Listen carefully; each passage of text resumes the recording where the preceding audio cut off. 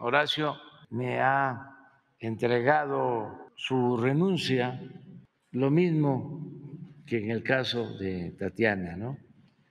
que nos ayudó tanto, tanto, tanto para triunfar y con su trabajo. Y lo mismo, Horacio. No te voy a abrazar porque...